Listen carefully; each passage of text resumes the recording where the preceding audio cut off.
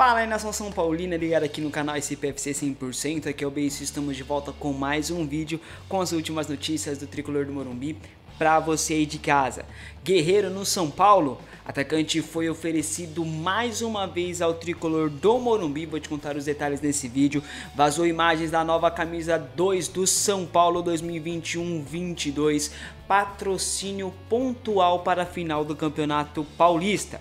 Rival cutuca o São Paulo e revolta a torcida São Paulina.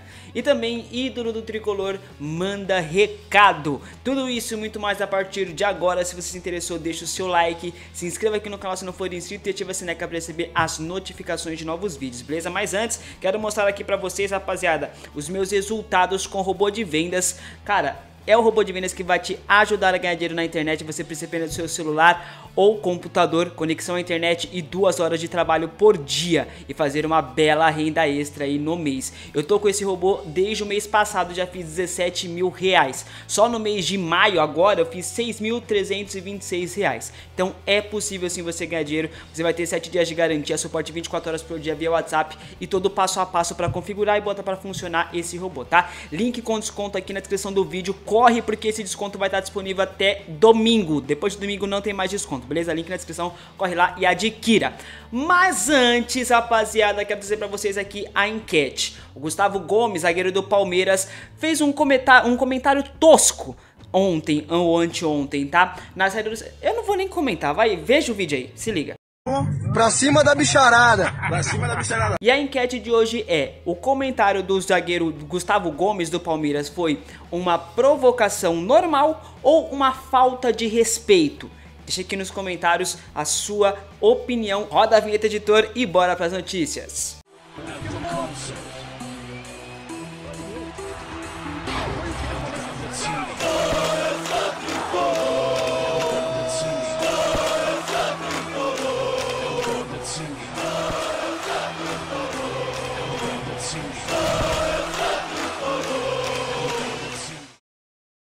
O ídolo da torcida São Paulina, Kaká, participou da Arena SBT na última segunda-feira.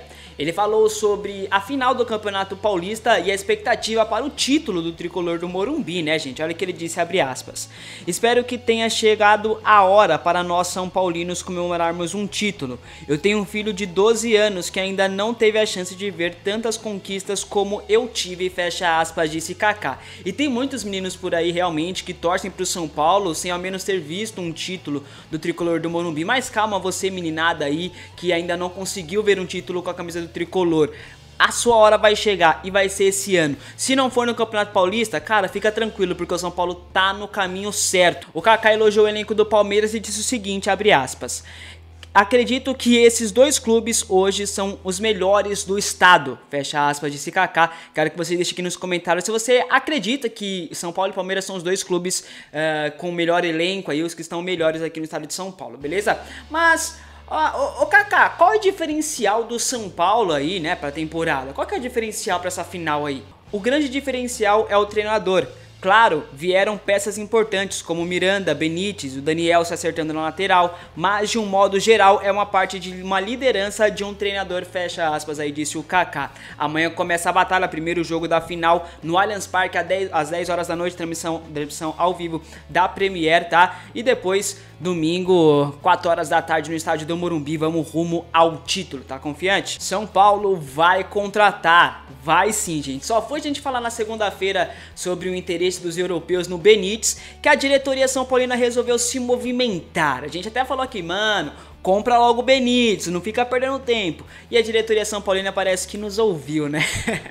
Segundo o All Sport, o São Paulo vai comprar o Benítez em definitivo ao final do empréstimo, que termina em dezembro desse ano, tá? A publicação fala que o São Paulo está ajeitando aí e procurando as melhores maneiras para fazer a compra dos direitos econômicos do jogador, né? Para isso, São Paulo vai pagar aí é, 17 milhões de reais por 65% dos direitos do atleta. A compra é de total vontade de Júlio Casares e também de Hernan Crespo e sua comissão técnica que tá feliz da vida com o Benítez. O Benítez também quer ficar no São Paulo, já deixou claro isso segundo o allsport.com e a diretoria vai analisando aí as melhores formas para fazer essa compra, tá? Então o Benítez será comprado sim em definitivo. Moleque, cara tá jogando muita. Eu vi gente no Twitter falando, pô, mas não é o momento de pensar em comprar o Benítez agora.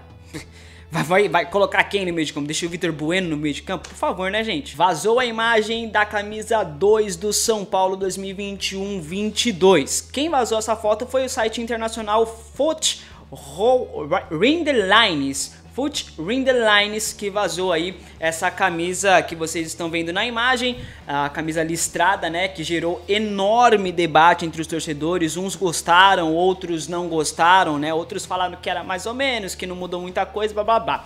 Eu particularmente gostei bastante, as listras contínuas nas costas, que a gente tanto pedia para Adidas, elas voltaram, tá? Você pode ver aí na imagem que vai ter as listras contínuas, a fonte vai ser maravilhosa, você pode ter certeza disso, já tem imagem da fonte inclusive. Uh, enfim, é uma camisa muito bonita, eu particularmente gostei bastante. A gola branca dá um destaque maravilhoso, né? A gola branca aqui também, a, a, a coisinha aqui da manga branca também dá um destaque muito bonito, então eu particularmente gostei. O lançamento não tem data definida ainda, São Paulo não oficializou ainda, mas pelo que apurou o All Sport, será esse o, o segundo uniforme do Tricolor 2021-22. Camisa muito bonita. Vocês gostaram?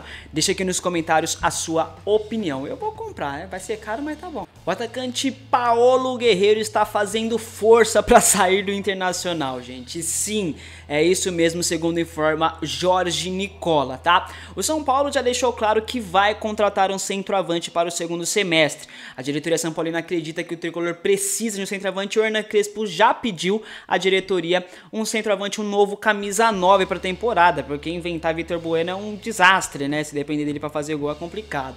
O Crespo já pediu, inclusive, Rafael Borré do River Plate, o Diego Costa já foi sondado pelo São Paulo, mas esses dois os valores são absurdos. A diretoria São Paulina já descartou de primeiro momento. O Borré só vem se chegar um parceiro, um investidor para ajudar na contratação. Caso contrário, não vem. Mas Guerreiro no São Paulo, existe essa possibilidade? Vai dar certo?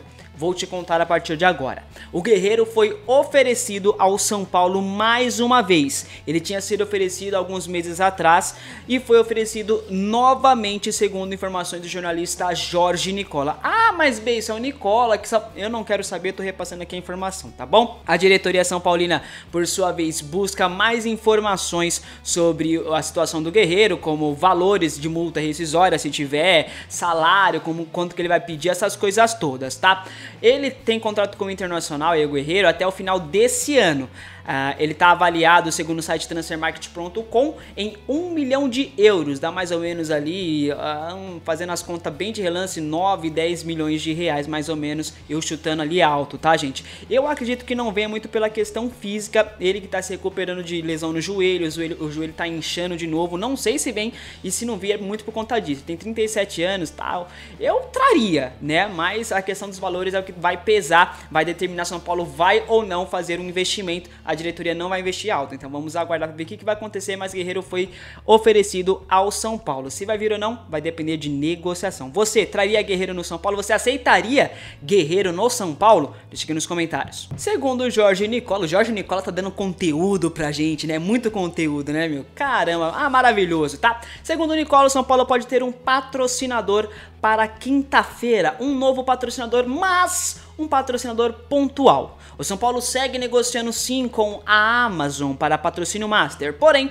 esse patrocínio pontual não será a Amazon, será uma empresa uh, de, um, de uma negociação um pouco menor, tá? Uma empresa que negocia um patrocínio menor no São Paulo, que pode usar essa, essas finais aí do Paulistão para estampar a sua marca no lugar do, no lugar do patrocínio master, que é aqui onde eu estou mostrando para vocês, e nas omoplatas também, tá, gente? Então essa empresa que está negociando um patrocínio menor pode é, estampar a camisa do São Paulo nessas duas, nesses dois jogos da final do Campeonato Paulista, tá? É um parceiro aí, entre aspas, tá, gente? O nome da empresa não foi revelado, mas o estilo de negócio é aquele mesmo que o Flamengo fez com a Amazon Prime, estampando as costas do rubro-negro carioca na final da Supercopa do Brasil, tá? É esse mesmo modelo São Paulo quer fazer aí para gerar um pouco mais de receita, né? E lembrando que parte da receita com o patrocinador vai ser destinado uma parte, uma pequena parte aos jogadores que estão aí com salários atrasados, direitos de imagem atrasados do ano passado, ok? Vamos ver aí como vai, vai, vai ser esse patrocínio pontual não tem nada certo, mas é uma possibilidade enorme